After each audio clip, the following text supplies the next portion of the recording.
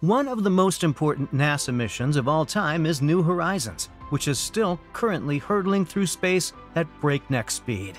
Unlike many projects created by NASA, New Horizons is a very long one, which means it will make a seemingly endless list of discoveries throughout its journey through the cosmos.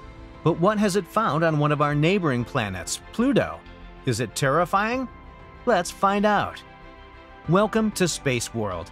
In today's video, we are going to talk about a new discovery made on Pluto that will change everything. So if you want to know more about it, then stay with us until the end of the video. 3 billion miles from Earth, NASA's New Horizons spacecraft, moving at speeds that would get it from New York to Los Angeles in about 4 minutes, is pointing cameras, spectrometers, and other sensors at Pluto and its moons, which are distant worlds that humankind had never seen up close. The spacecraft is currently recording hundreds of pictures and other data for the scientists to study on Earth that would forever change our view of the outer solar system.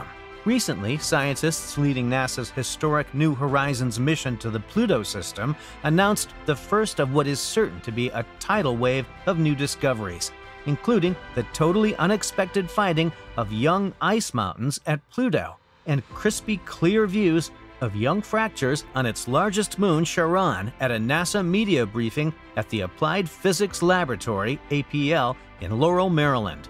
According to researchers, a treasure trove of long awaited data has become streaming back to mission control at Johns Hopkins University Applied Physics Laboratory to the mouth watering delight of researchers and NASA. So, considering various discoveries made by New Horizons in the past, the images of Pluto captured by NASA's New Horizons mission have revealed a new surprise called ice volcanoes. The spacecraft performed a flyby of the dwarf planet and its moons in July 2015, and the insights gathered then are still rewriting nearly everything scientists understand about Pluto. Pluto was relegated to dwarf planet status in 2006 when the International Astronomical Union created a new definition for planets, and Pluto didn't fit the criteria. The dwarf planet exists on the edge of our solar system, in the Kuiper Belt, and it's the larger of the many frozen objects there orbiting far from the Sun. The icy world, which has an average temperature of minus 232 degrees Celsius, is home to mountains, valleys, glaciers, plains, and craters. So, if you were to stand on the surface, you would see blue skies with red snow. Now, what is this intriguing discovery about Pluto that has thrilled everyone?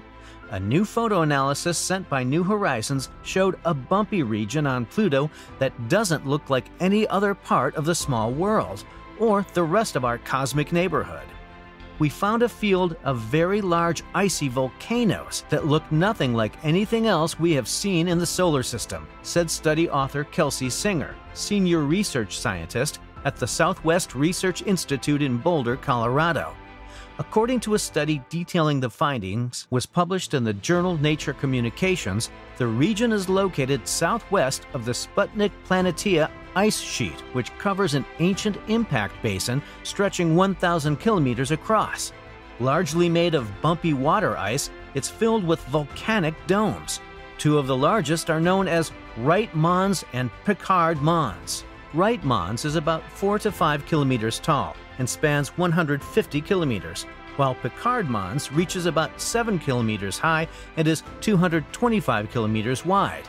In addition, Wright Mons is considered to be similar in volume to the Mauna Loa volcano in Hawaii, which is one of the biggest volcanoes on Earth. Furthermore, some of the domes observed in the images merged together to form even bigger mountains, Singer said.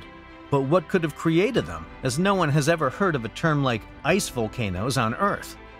Ice volcanoes have been observed elsewhere in our solar system.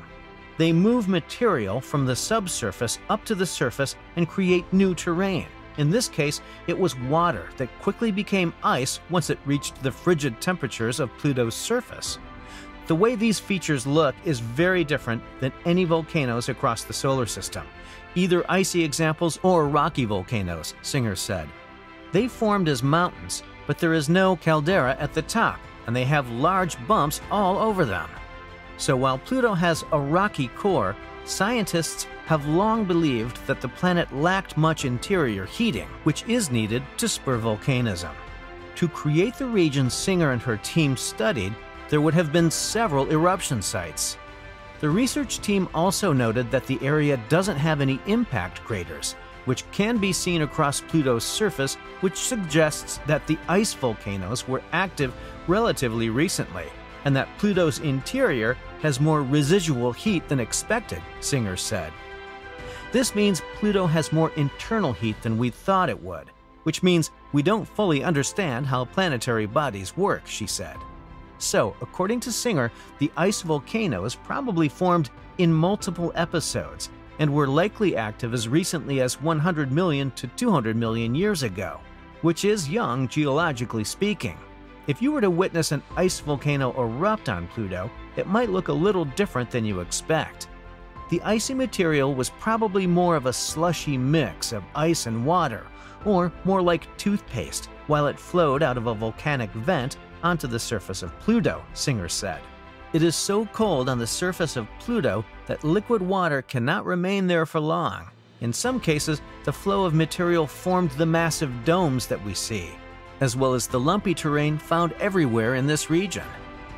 When New Horizons flew by this region, the team didn't witness any current ice volcano activity, but they were only able to see the area for about a day, so there is a possibility that the ice volcanoes are still active. They could be like volcanoes on Earth that remain dormant for some time and then are active again, she said. Now, let's discuss the most favorite question of the scientists and researchers is there life out there on Pluto? It is believed that Pluto once had a subsurface ocean, and finding these ice volcanoes could suggest that the subsurface ocean is still present, and that liquid water could be close to the surface. Combined with the idea that Pluto has a warmer interior than previously believed, the findings raise intriguing questions about the dwarf planet's potential habitability. There are still a lot of challenges for any organisms trying to survive there, Singer said. They would still need some source of continual nutrients, and if the volcanism is episodic and thus the heat and water availability is variable, that is sometimes tough for organisms as well.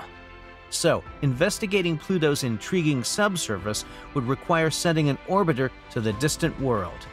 If we did send a future mission, we could use ice penetrating radar to peer directly into Pluto and possibly even see what the volcanic plumbing looks like, Singer said. NASA is now planning to send more missions into the cosmos to find out the other half of the truth and prove the existence of alien life around us. So, to say that New Horizons shook the foundations of planetary science is an understatement, as discoveries already culled from the pictures and compositional and space environment readings have not only introduced us to the Pluto system, but hint at what awaits as scientists examine other worlds in the Kuiper Belt. New Horizons is now nearly 300 million miles beyond Pluto, speeding to its next destination, deeper into the Kuiper Belt, following NASA approval of an extended mission. About 80% of the data stored on the spacecraft's recorders has been sent to Earth, and the transmission of the remainder will be complete later this year. And this is it for today, guys. What are your thoughts on today's video? Share your views with us in the comments below. Also, don't forget to give this video a thumbs up, subscribe to the channel, and ring the bell icon for more amazing videos about space. And thank you for watching.